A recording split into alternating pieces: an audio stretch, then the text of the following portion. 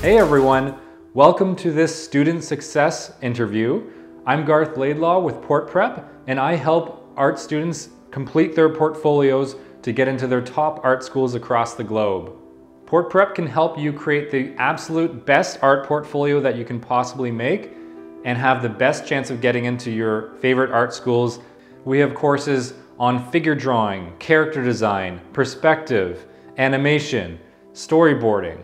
We even have courses that deal specifically with Sheridan College's animation portfolio, which is notoriously difficult to get into and which is what I graduated from. One of the primary problems that we've noticed with students not getting into their top art colleges is the accountability to produce work a, on a consistent basis. And this is exactly what we've created these courses for.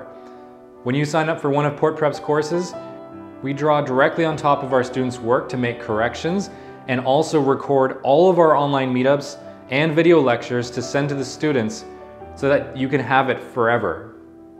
Port Prep is incredibly proud of our success rate with getting students into their top art colleges and universities, and so please have a look at our testimonials page. We also offer one-on-one -on -one art mentorships as well that are much more customized to your specific artistic goals. Without further ado, let's listen to this student interview. Hey Sarah, how's it going? Hello, good. How are you? Pretty good. So how are you feeling now that it's all over? Ah, good. yeah. yeah. Uh, there was about what a, a, month to wait before you found out, and uh, I guess you were pretty nervous during that time. Yeah. Yes. well, this is great. So you made the incredibly, incredibly difficult year, the highest year I think ever that you know, especially for international, which you are, um, of you know, broaching that 95% mark. So a huge congrats from all in Port Prep about that. Thank hope, you. I hope that feels really amazing. um, yeah, so just just life drawing, hand drawing, and one from personal work. Huh, that's kind of shocking. Um, yeah. So first of all, I would love to ask like what um what brought you to animation? What kind of inspired you to want to go to Sheridan? Or apply to other animation schools for that matter?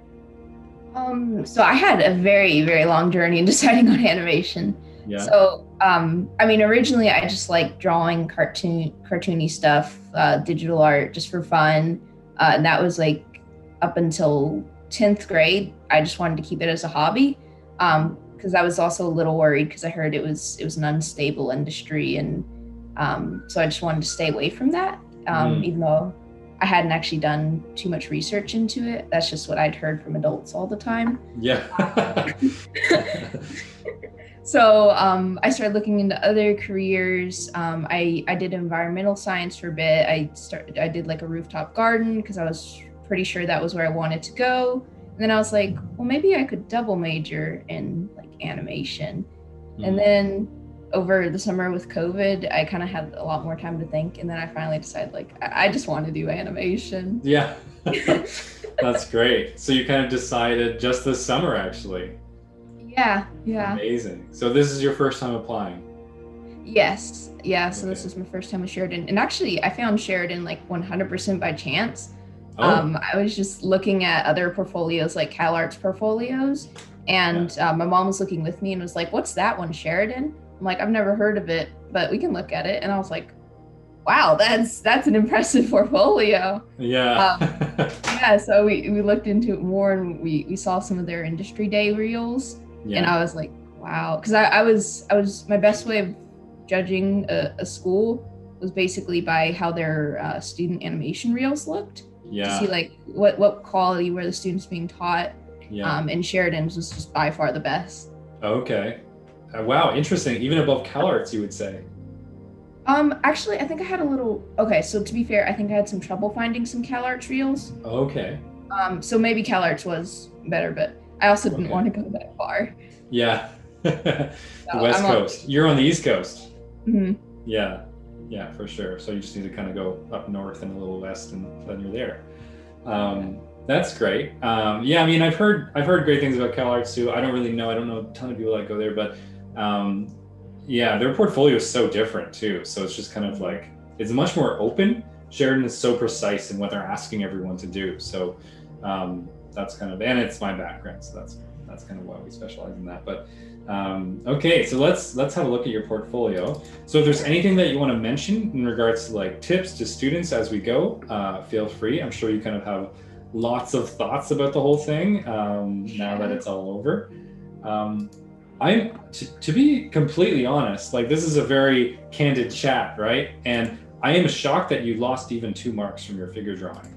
Um, like, I remember looking at your figure drawing and being like, uh, okay, I don't know. Like, this is really, like, the gesture quality of this is really great. Like, even there's emotion there, there's props, like, great, like, compression and, um, yeah, just really curious what they're looking for. Um, was there anything that was surprising to you in your score sheet? Um, kind of the personal work, but I like I, I look at it again and I think I kind of get why. Mm. Um, and we can we uh, are we going through them like each yeah one? we'll go through man okay, or so. yeah from the top to the bottom sort of but yeah we'll, we'll definitely get to that uh, for sure okay. but yeah really great figure drawing um, yeah. Yeah, I think where I might have lost points was like when you when you look at some of them, uh, not mine, but just in general, when you look at other people's, there's like an immediate readability to it, and there, or there's an immediate like wow factor. I think mine were accurate and the line quality was okay, but it didn't have an immediate wow factor like some of the others. Mm. Yeah. Um, so I and I think that's just from lack of experience. Like I practiced figure study, but not until like this year. Yeah. And I, I still feel like I should have practiced it more. don't we all? Figure drawing yeah. is just the endless study that we'll be doing to our grave. So don't worry, there's plenty of time. Yeah. all right, let's have a look at your hand. Nice. Yeah, that's great. So this one was, I know, that's a great mark. Um, yeah curious even again why they took a mark off. I think these are, are great. The, the quality of the image could have been a little bit better, maybe. I don't think that's why they took a mark off, but um, it feels like a little bit low quality, maybe. I'm not sure. Was it a scan or a photo? Um, I think it was a scan. Okay. Yeah. Um, because I didn't want it to distort at all. But yeah. it could have been like down at the fingers. You see, like I had to fix um, some of the fingers on the first one, so it looks a little muddy. Huh. I think. So that that could have been why, because I had to erase. Um, and like if you look at the uh, kind of left fingers to the right fingers, it um, like some are thicker than others. So I think it was just hmm. like a little bit the line quality could have been better. I also okay. should have drawn them bigger because I drew mm. them like about that big. Oh, okay. size of hand. So I think it would have helped to draw him better or yeah. uh, larger rather. Yeah. Um, the, in your underdrawing, we can see a little bit of it, but I'm guessing there was more. I, I can see like a little fragment. I can see a little uh, metacarpal here, but um, not like um, there's probably stuff going down here. Maybe I'm not sure. Um, maybe that was just lost in the scan. You have great thumb detail. We can see that thumb bone really clearly in the in the ulna and radius too. So that's great. Yeah, really great hands though. Um, and then what's the next round? So I think it's the yeah the character rotation. Yes. Okay. This one was a while back. I remember looking at this one way back when. So it's cool. It's really great that you got perfect on this one, right? Yeah. Yeah. So, wow. I, I love this character. I thought it was such a fun, unique character. And of course, we see his structure. This was a nice workaround, eh? I'm glad they appreciated this. That, you know, if you have a character that has a bunch of stuff or a cloak or something coming on the back, to just draw through it, draw the structure anyways, as if you're you're you're kind of showing an X-ray, um, because yeah. that way you're not, you know, it's not like you're trying to hide anything. I think that was a great solution there. Yeah, and even the bird. Wow, we get a rotation of a bird too. I love that. it's funny that in this one he's facing us. he's like looking directly at the camera. Yeah, really clever character. What made you think of this, Sarah? Uh, that was from actually a story I'm developing. Oh, okay. Um, so yeah, there's um, fauns in kind of an old western setting. Oh yeah, Yeah, which I think I have a feeling we're going to see more of uh, in the personal work section. um, cool. Yeah, really, really fun. Also to combine animalistic elements with the humanoid, um, because usually it's like a human character or an animal character, but it's like, well, this way you can have nice aspects of both. Um, so I'm really glad they appreciated this, and just excellent line quality too. That's really, really clear. Nice. Um, so I think the short animation is next. Here it is. Oh yes, I remember looking at this one a whole bunch. Um, I remember you had you had two great ones that you were considering, and I'm like, wow, this is hard to choose. Um, really, really happy with how this turned out. Um, just has such a great bounciness to it. You managed to do a lot in four seconds. Wow, just amazing. May as well be 3D. It looks like it's almost 3D. That's awesome. What, yeah, there's actually. Oh. Oh, un- unrelated, but I there were a few 3D ones in there. Like some other students did 3D ones, and yeah. they looked incredible. Yeah, yeah. One of our students did a did a 3D one, and I was just like blown away. Um, for for yours, um, what? How did you get this idea? Uh, I just played around with a lot of ideas. I think there was like like so I just started drawing like little keyframes in my sketchbooks and then I would if I thought one might work out, then I would animate it a little more. Okay. Um so I think yeah, there was those two and then I think there might have been some other ones that I ended up not using. Oh, but wow. I just kind of played with ideas until I liked it. Yeah. Oh, amazing. That's great. Turned out so well. And what software did you use to animate it? Uh, Toon Boom Harmony. Oh yeah, Toon Boom. Okay, great. That's awesome. That's really really solid. Um, I think the storyboard is next. This one. Oh yes, I remember this very clearly. Um, hopefully, what did you get on your storyboard? Yeah, I thought so. Yeah, this is really really great storyboard. I remember seeing this. It it it, it changed so much. Well, I mean, it, it the the idea was the same but the progression i remember seeing it develop week by week and i was like wow this like it came from your early sketches it came so far. Um, and we kept working on those character models getting them on model and yeah they're just they look really great. Is there anything you want to share about this this process of the storyboard? I'm guessing you probably also did multiple iterations of the story yeah, actually, um, so I uh, originally I was having a lot of trouble brainstorming my storyboard because I was worried about it being too much like uh, "Don't judge a book by its cover" because I wasn't sure how picky they were going to be about that. Yeah. It Turns out they weren't very picky, so that's good. Yeah. But um, I basically just did a bunch of thumbnail sketches of different potential stories. So I had like them dancing, I had them getting a massage, just like completely random, just little thumbnails uh, that could kind of like spark an idea. Yeah. Um, and then I, I got the one with the geode, and then I played around with that a little mm. uh, in sketches. Um, but yeah, um, I guess other tips is like um, whenever when I do the storyboards, I don't do the text, and when I show other people, I don't show them any text with it because they should be able to understand what's going on without text. Otherwise, it's it's not gonna that's that's a great tip, and you're gonna you're gonna be hearing that echoed a lot among your storyboard teachers when you're in Sheridan. So that's fantastic that you were thinking that way. Yeah.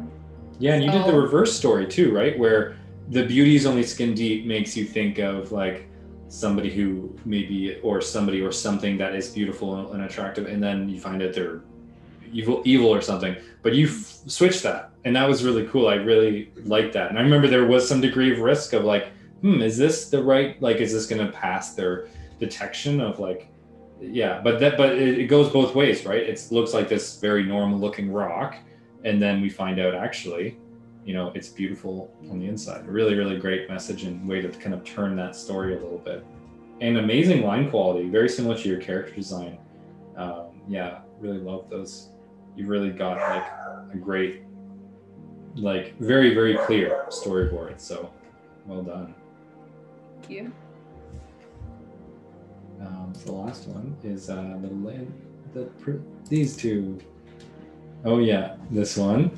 Um, how do you do on these ones? I, I can't remember. Oh great. Okay, awesome. Yeah, I remember So for every for anyone watching, this one, we, I remember we were going back and forth and fussing with the the various elements of it for a while, and there was a part of me that's like, I think this was perfect like th- two or three sessions ago. Like in my mind, I'm like, I think this is already perfect. Like if you change the foliage and stuff, like that's great, and if you feel more confident with it, of course that's good. Who knows? Who knows? Maybe it all added so much, but I remember this was a really strong one from the beginning, and then you were kind of tinkering very specifically with those details and and you know maybe that that was the determining factor maybe all those those extra steps but this one always felt very solid. Um, how did you feel about about oh yeah and then this one the underwater. How did you feel about these ones and, and what were your kind of um, processes? yeah so it i mean they were very difficult. Layout is uh, not usually my thing. This exterior or, or interior layout actually yeah. um, was the first perspective line drawing i've ever done Wow. So Holy. I was very scared going into it because I, I wasn't sure. I actually redid the line art three times because uh, the first time it was too rough. The second time I did the perspective wrong. Uh, and then the third time was uh, this one. Wow. three times. And your first, that's crazy. I, you must, did you have some good resources or references or what, what was it that helped kind of get you to this level of comfortability with perspective? Well, definitely your class. Oh, so great. that was I, I, kept like going back and referencing the videos and uh, stuff like that. And like once once I started understanding how perspective worked, it, it made more sense. Yeah. Um, it was just like never doing it before. It was like, mm. what are the lines for? Where where do I put them? Yeah. Like it was just oh, very. Wow. I'm so daunting. glad that was helpful yeah. yeah. and and another thing I used uh, was Pinterest. Like I, I, had lots and lots of references, which helped with with like inspiration and with like great um, just accuracy. Yeah. Um, and yeah, um, another tip for for layout is having a theme. Um, yeah. So like the outdoor layout was Irish castle ruins, and the indoor layout was aquarium. Yeah. Um, and by having a theme, it kind of aquarium. Really, I couldn't tell. but yeah, it just kind of helps with like clarity and yeah. and stuff like that. So. Mm, that's great, and I think that's a great idea too to to pick a theme and sort of dig into that. And I love how to the extent that you really went for it. Like I always say that, especially with animation, that if you're gonna do something and, and, and have some kind of little story over, overarching element over the whole thing motif um, just really really go for it like more so than you than in person maybe would happen in real life and the the the the, the final um, resolve of this, I guess, for me was even this little guy, like even the zipper thing. For some reason, I just love that little detail because, like, you know, even without that, like, this is a very dominant, like, this person loves their job and is just like an aquarium master. But even their little backpack, it's just just like hammering it home. So what a what a great idea! Like every little every element is thought through here. Um, there's nothing that's just kind of an accident. It's all specifically designed for this environment, so that's really great. And this too, you've got like these kind of almost like these fallen gods and old old ruins here, um, and then a and then a uh, unicorn. Uh, so it's just kind of you've got all those those Celtic elements. You've even got the four leaf clover uh, motif there. Um, yeah, just really great. Amazing job, Sarah. Thank um, you. And 100% on those ones, so that's great that it paid off. Um, okay, so that's that's the main part of the portfolio. Let's have a look at the personal work. Um, oh yeah, here we are. So here's your character design, some expressions, the full color version, uh, and this page is just amazing. Like for everyone watching, like you think you've done sketches, like look at look at the amount of sketches Sarah's done here to kind of get to the place where you know she could be confident in her character. It's just all of the different things that you could consider from like the staff to the horns to like this is just an amazing concept art kind of breakdown of how you were thinking about this. Just like in math you need to show your work. It's the same thing for art. Um, yeah really really great sarah. This must have taken a little while to uh, assemble i guess and to figure out yeah, yeah, that one took a lot, a lot of time, but it, it was fun to do. Yeah, it looks really fun. Oh yeah, and we got some more some different coloring. This character in the same kind of breakdown. And it's nice that you've included this all together because they are these two characters, um, and and yeah, a very similar treatment for each. It's nice that you kind of have this overarching theme and, and, and kind of story that helps to unify everything. Let's see the next one. Oh yeah, here it is. awesome. Oh, there's more too. Great. Wow. This is awesome. I like this. It was fun seeing this develop. Any tips for aspiring digital painters that want to create an equally epic scene?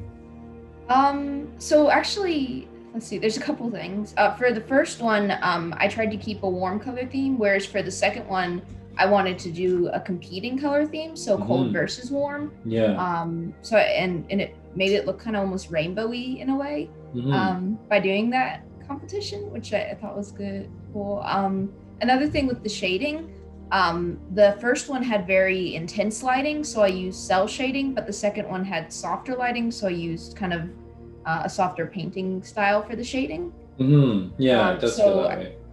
Yeah, and I, I just tr- kind of try and like show different methods um, in in both the pieces.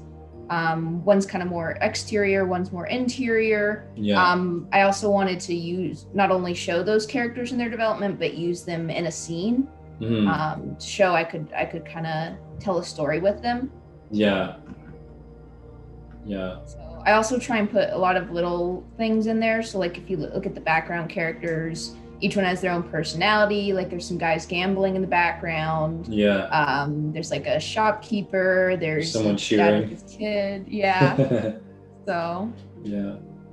And yeah. I, I, also do a lot of research uh, for everything. So like this one, I researched birds from Texas, and then I basically uh, broke down what their body structure and wing structure is like, so I could draw them on my own and simplify them. Wow. Um, and make them kind of just move I, I wanted every different pose for the bird to be very uh, unique and interesting and tell kind of little stories. Yeah, you've even got a turkey vulture in there. It looks like. Um, yeah, the bird. That's a great point. Each one is dynamic in the same way that you know when you're drawing the hand drawing. I always emphasize that each finger is slightly different because if it doesn't, if it's not, then it feels too like samey same. Um, same with your birds. Like everyone is very unique, even though you know you'd think you know birds can either have their wings up or have their wings down but there's the rotation that you can do of each of them that can help to kind of make them feel very uh, full of motion i guess um, so that's that's really great love the diversity here both of type of bird and that's amazing that you even looked up the birds of texas um, and then such great yeah i mean you could have just a page of bird sketches as one of your personal works That's great. Oh, these are really fun. I remember these. That was actually, I think that was one of my weaker pieces just because um, it, it, was like relatively simple. I mean, it was nice, but I think I could have included more um, and maybe made the layout a little more interesting. Like, hmm. I mean, I, I, guess it was, it was like an okay piece. It wasn't bad, but it could have been better. Yeah. Huh. I really like this one. Um, yeah, I mean, it it, it's a fun little study, a little bunch of little still lifes from uh, looks like a, a sushi and sushi and candy shop, two great places. Um, this one is your your oil painting. You wanted to include traditional piece, right? That was the yeah, and that that was the other one I thought could have been better, just because I'm not very familiar with like oil painting. I've done I've done them in the past, but like I don't do them a lot, and I also thought like the composition could have been a bit better. Mm. So but yeah. I mean, I, I, I do still think it's good to show variety. That that's why I included those pieces. But yeah. at the same time, I was also doing things I wasn't as familiar with. Yeah. Uh, so it didn't turn out as I would have liked it to. Mm. Yeah. So that's that's, that's my guess, my best guess as to where I lost that one point. Yeah. Sure. Yeah, it could be. Oh, and this one, this one is really neat. I'm glad that layout helped of the kind of seeing how to lay out the information. This is a really cool project. Do you want to tell us about what this was all about? Yeah, so these are all eyes of endangered animals or um, yeah, or threatened animals.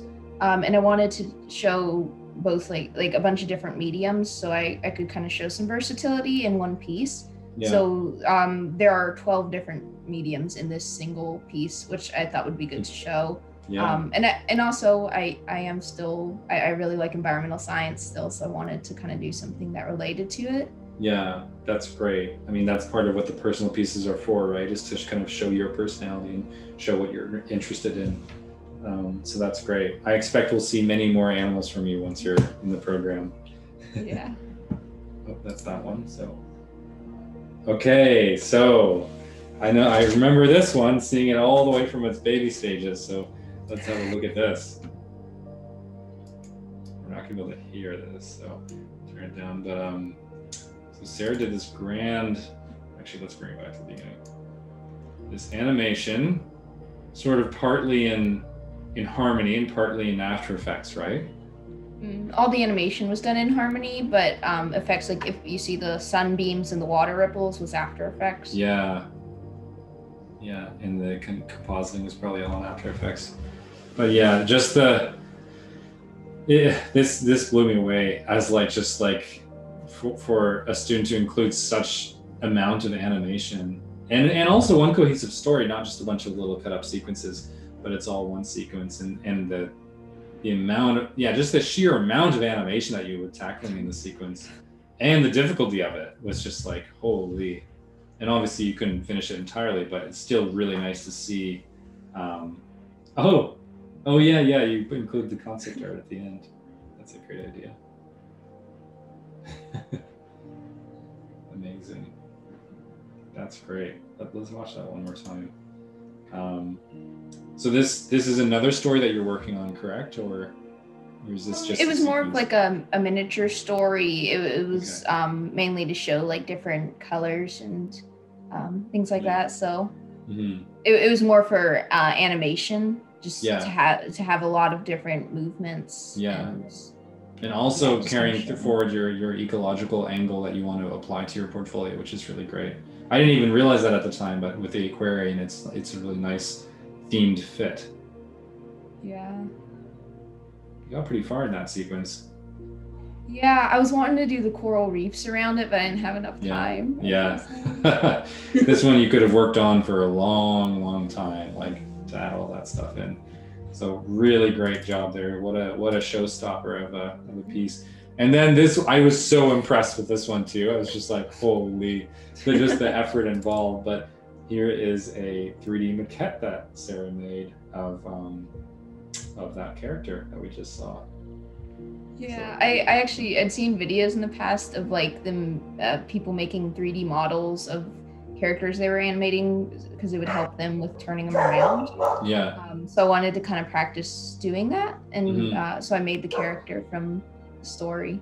I didn't get to use them because I did it out of order, but I wanted to show that I could do that. yeah, yeah. That's amazing. Hey, is this meant to not be choppy, or did you just take individual pictures and rotate it? I took individual pictures. Oh, okay. I thought for a second maybe my video player is lagging and it's just a kind of continuous pan. But um, they, I mean, it practically is. That's so great. You've got a lot of pictures of it. Um, it's funny. I mean, some people just take a few pictures of different angles and different lighting and stuff and kind of put it on an image. But it's nice that we got a little a little video turnaround of this. Such nice details. Um, yeah, so that's your portfolio. So congrats again, Sarah, from behalf of everyone at Port Prep. This is amazing. Um, Thank you. Really, really great score. Really, really difficult year. And um, any any last, I guess, tips or resources that you'd like to give? Like if you were doing the whole thing again and you had no knowledge of having done it, what would you have told younger Sarah about what how to approach this and what to do and what resources to look up? Um, well, for one, practice uh, anatomy more. Um, I kind of, I think I delayed it a little too much in the beginning. I was like, it's it's far off, and I'm already working on all these other pieces. So, and I, I still did it, but it was like I would do it for two days, really intensely, once a month, Yeah. until it started becoming important, and then I started doing it like weekly and then daily as it grew closer. but I, I should have just had it like consistently from the Mhm. beginning, which and is what, hard to what do. does practice anatomy mean for you? Like specifically, what were you? What kind of practices were you doing? Oh, figure studies. Oh, so Uh, drawing from figure. Okay. Yeah, yeah, because that was that was not something that was a strong suit. Because also before this, I very very rarely drew humans. Yeah. I, I primarily drew ponies and dragons and things like that. Yeah. so, great. but that's okay. Yeah. Um, let's see. Um, I guess um, another tip would be to like be prepared to give a lot of your time to the portfolio. Um, I gave basically my whole Christmas break to the personal work section. Mm. That was when I did a majority of my pieces for it. I had like okay. a schedule planned out for every day. Yeah. The only day I didn't really work was Christmas, but otherwise, yeah. Yeah, it was that you had a day off. yeah, it, it paid off.